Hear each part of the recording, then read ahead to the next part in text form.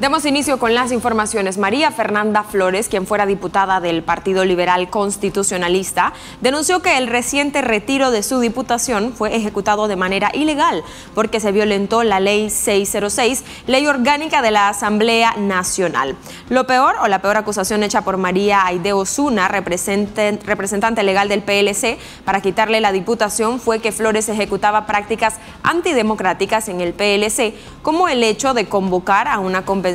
solo junta directiva y pasarle factura a 60 convencionales en dicha reunión. Sin embargo, la esposa de Alemán aseguró que agotará todas las vías jurídicas y administrativas que le permite la ley para tratar de recuperar su cargo. Flores evitó referirse al voto que fue recibido a favor de la eliminación de su diputación por parte de Miguel Rosales, presidente en disputa del PLC y diputado, además quien era promovido por ella y su esposo, el expresidente Arnoldo Alemán, para que fuera reconocido como tal. El Consejo Supremo Electoral, en respaldo por la ex eh, primera dama, fue casi nulo pues los 14 diputados, tan solo dos junto a ella, votaron en contra de la decisión de quitarle la diputación. Mediante una carta, la juventud del PLC solicitó por el voto a favor de hacer rodar la cabeza de Flores en la Asamblea Nacional, se le quite su representación como representante de ese partido político en la coalición nacional.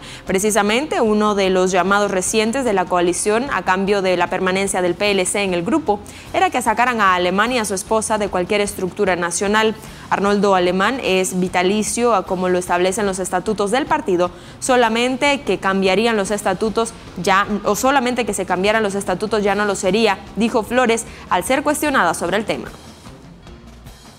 Y desde el inicio del procedimiento,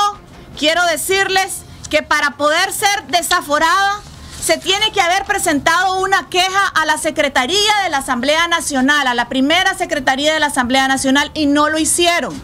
Simplemente, doña María Aide, junto con su aliado principal, el diputado Porras, le dio la oportunidad de leer y presentar su queja ante el plenario de la Asamblea Nacional y no formalmente ante la primera Secretaría de la Asamblea Nacional.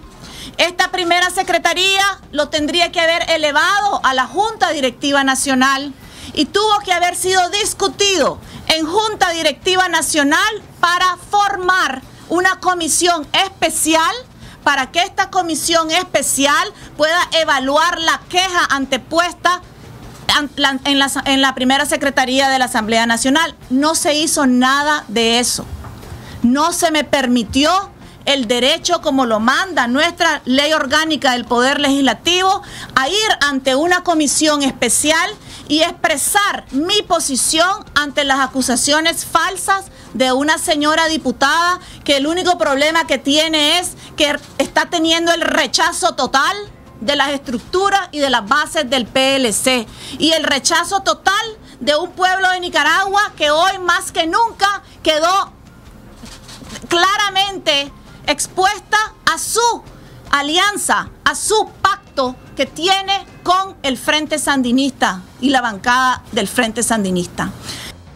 El Partido Liberal Constitucionalista da a conocer a nuestros miembros, afiliados, directivos, autoridades y población en general lo siguiente.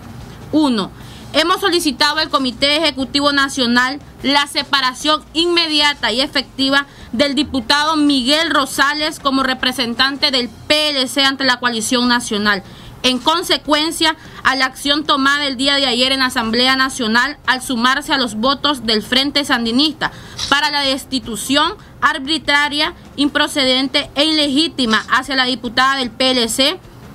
flagueando la voluntad de miles de votantes de Managua que depositaron su voto y confianza en la diputada María Fernanda Flores. Dos, desconocemos a partir de hoy a los diputados que se sumaron a la votación del Frente Sandinista en la Asamblea Nacional. Tres, nuestras estructuras juveniles están firmes en mantener la institucionalidad del PLC. Cuatro, expresamos nuestro total rechazo a la destitución arbitraria e inconstitucional de la diputada María Fernanda Flores e instamos a los demás sectores de nuestra institución a pronunciarse a la brevedad ante